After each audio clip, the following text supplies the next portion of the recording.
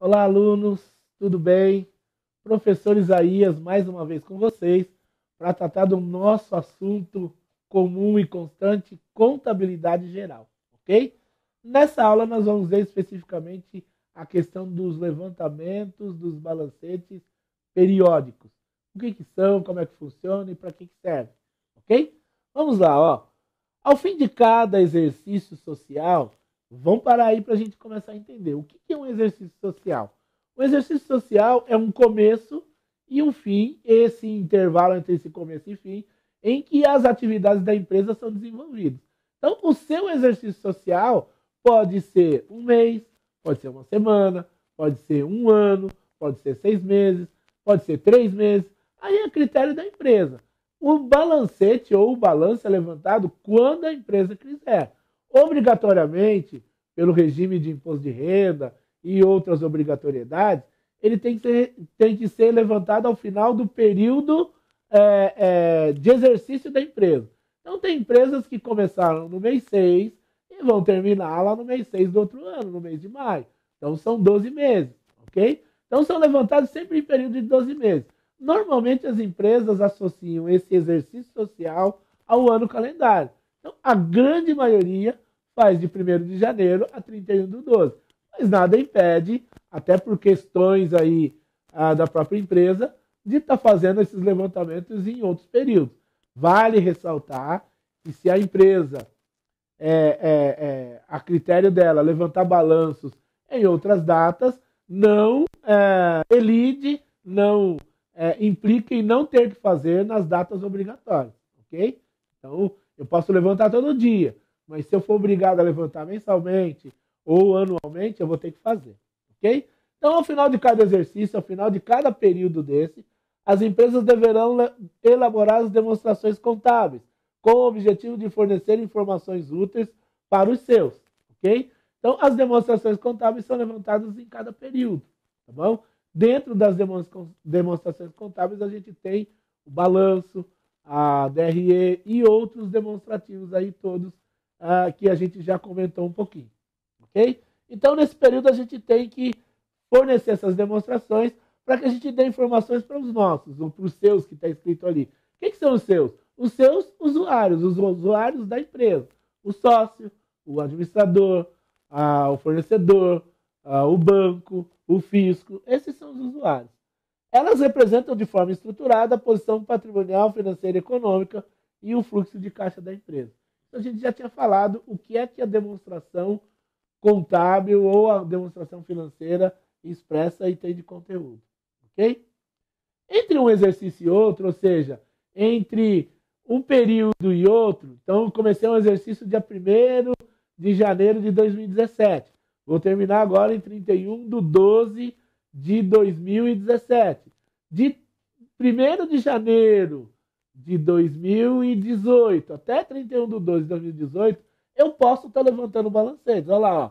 entre um exercício e outro, a empresa pode e deve levantar balancetes periódicos ou de verificação, cujo principal objetivo é ter uma visão a respeito de sua parte financeira e verificar se os lançamentos contábeis realizados dentro do período estão corretos ou não. Vamos entender isso daqui, ó. Essa questão da periodicidade a gente já entendeu. Mas vamos verificar isso aqui, ó. Pode, né? Que a gente colocou aqui, ó. Pode ou deve, tá bom? Quer dizer isso, professor? Pode ou deve? Primeiro, pode estar facultado à empresa. A hora que ela achar por bem, ela pode pedir para o seu contador ou para a pessoa responsável levantar as demonstrações ou levantar os balancetes, ok? Deve. Por que deve, gente? Porque assim, ó, imagine que você trabalha no calendário, 1 de janeiro, 31 do 12. Se você deixar para levantar um balanço ou um balancete só em 31 do 12, você já imaginou a gama de operações que podem ter sido contabilizadas erradas, lançamentos feitos errados, em contas erradas, ok? Uh, uh, problemas que deram em operações durante esse exercício. Então, o que a gente faz? Uh, dá um exemplo para vocês. Ó. Normalmente, a gente está dirigindo, ok? Estamos dirigindo o nosso carro. Nós estamos indo para um lugar onde a gente não conhece. Assim como a gente não conhece o resultado que a empresa vai dar. esse ano deu lucro, eu espero que esse ano também dê. Né? Espero que ano que vem também dê. Mas pode acontecer de dar prejuízo. Eu posso terminar com lucro, mas posso passar por prejuízo. Então, é toda uma rota, é todo um caminho que tem que ser seguido. Ok? O que, que acontece? Ó, o GPS do seu carro vai informando. Ó, você, mais tantos quilômetros você está chegando onde você queria. Ó, o seu carro está com autonomia de X quilômetros por litro. Ok? Ó, você vai demorar mais tanto tempo para chegar. Ó, ali você tem que virar à esquerda, você tem que virar à direita. Por que, que ele não abre a hora que você liga ele fala assim, boa viagem, e a hora que você chega, ele diz assim, você chegou ao local planejado. Porque nesse meio de caminho tem muito percurso. Muitas vezes você sai fora, você perde uma entrada, o carro está gastando demais, você está andando devagar demais e o tempo vai aumentar.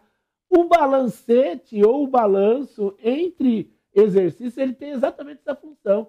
Se eu esperar para chegar lá no fim, muita coisa eu não vou conseguir corrigir mais.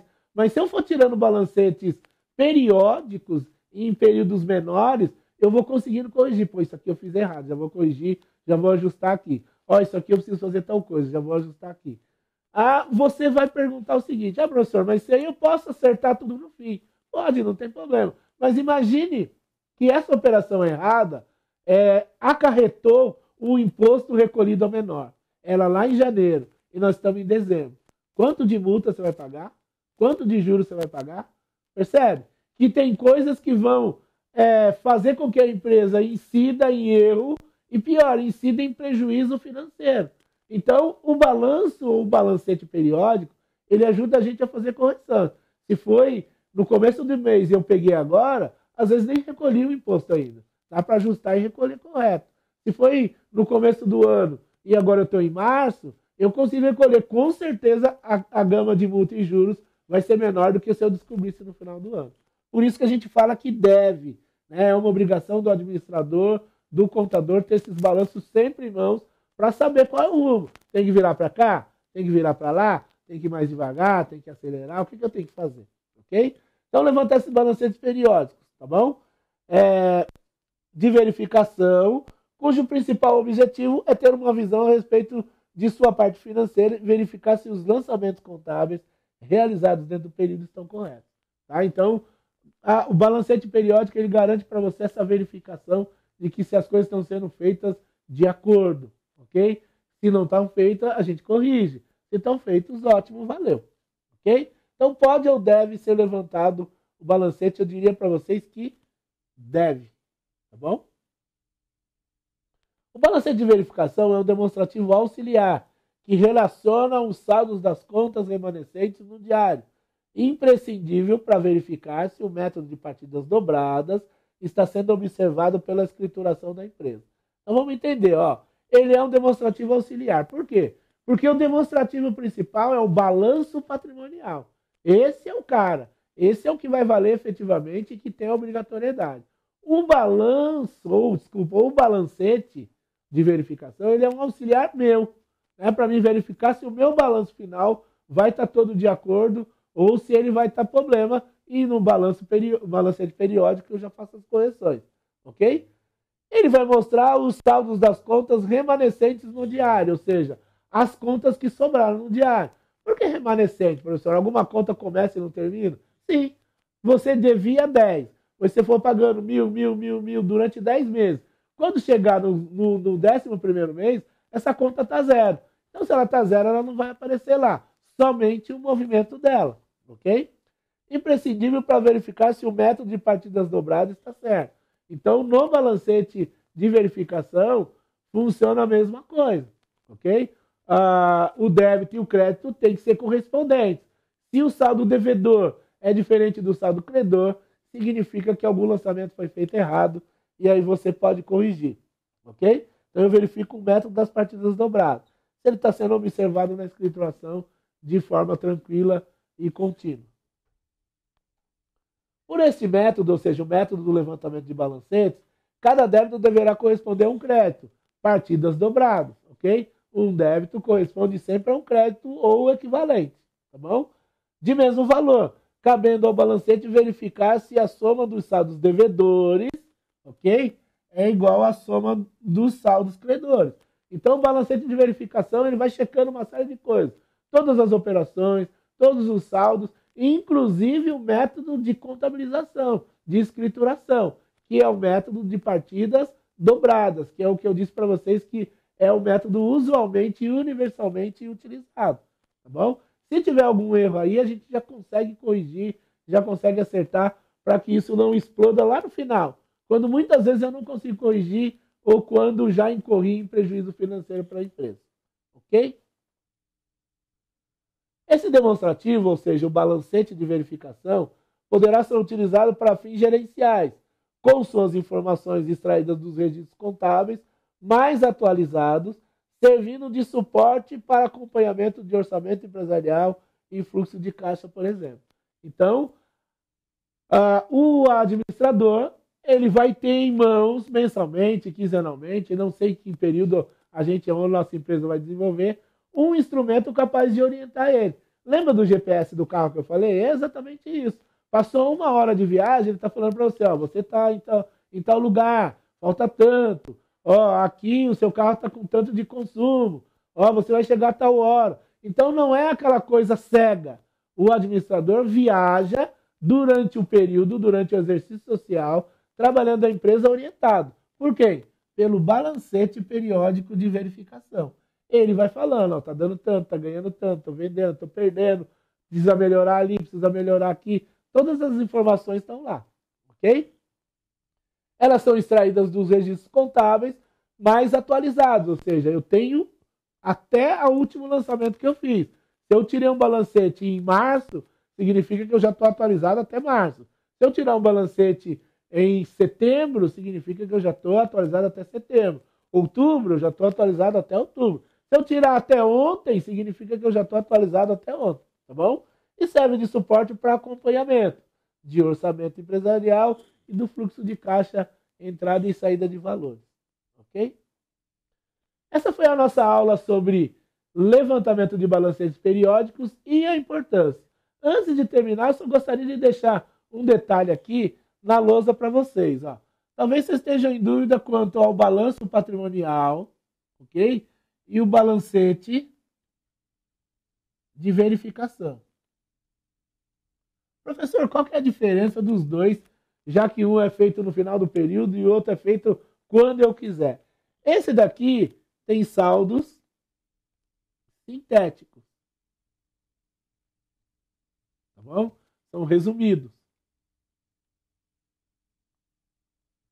Esse daqui tem saldos por lançamento. Ok? Esse daqui tem os saldos finais. Esse daqui tem o saldo do movimento.